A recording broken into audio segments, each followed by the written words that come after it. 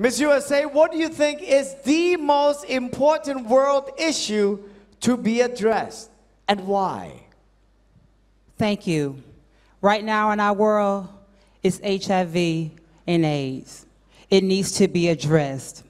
The world needs to know that there are options. Individuals do not know that there is PrEP out there. There's PEP out there.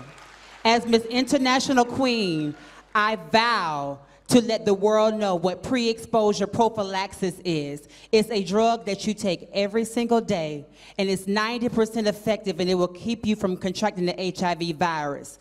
If you are someone that has had unprotected sex with someone and you do not know their status, you have 72 hours to get to a doctor, and you can take PEP which is post-exposure prophylaxis, and you will take this pill for 30 days, and it will keep you from getting the HIV virus.